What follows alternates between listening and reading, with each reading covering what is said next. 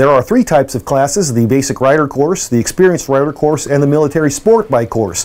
The basic rider course is for beginners and anyone that's been riding with learner's permit, have some riding experience, and would like to obtain additional skills in a secure environment away from traffic.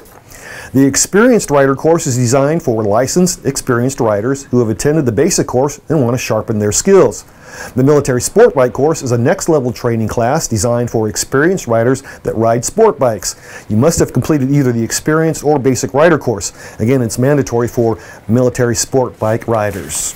For more information, contact the Installation Safety Office at 301 677 2396.